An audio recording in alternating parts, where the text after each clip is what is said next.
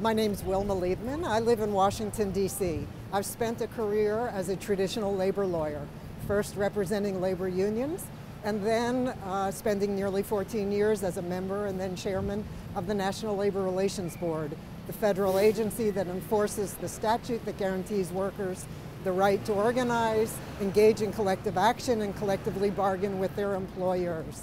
Since then, I have taught at NYU Law School.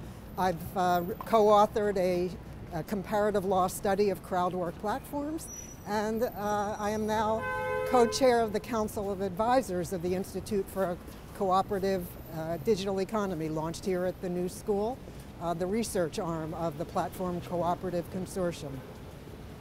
Uh, I'm very impressed by some of the uh, thinking and activism going on today, including impressive experiments with worker, worker ownership and governance. To some extent, the debates going on today resemble those of a century ago over the labor question, uh, namely the irreconcilable difference between the promise of this nation of freedom and the unfreedom in, of most industrial organizations. De industrial democracy was thought to be the answer to the labor question, but what that term meant was subject to very diverse interpretations.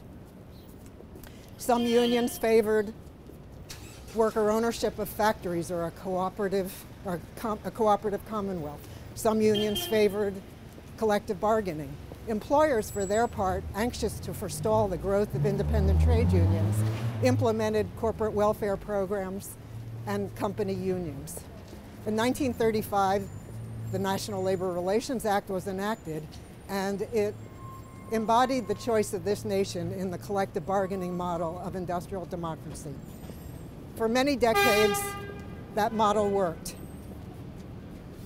Millions of people enjoyed some measure of workplace democracy and economic advance. The middle class swelled. But since the late 1970s, that model has been in steady decline. Wages have stagnated, Work has become precarious, inequality has soared, and democratic institutions are under stress.